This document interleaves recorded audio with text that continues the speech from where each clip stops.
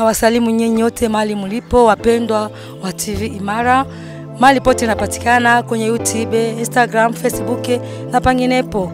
Ya, nitaka tu kuongezea na kusema ya kwamba eh, mwanamke anapaswa kuwa mswafi, hapana kukoga limoja kusiku, kukoga hata mara tatu.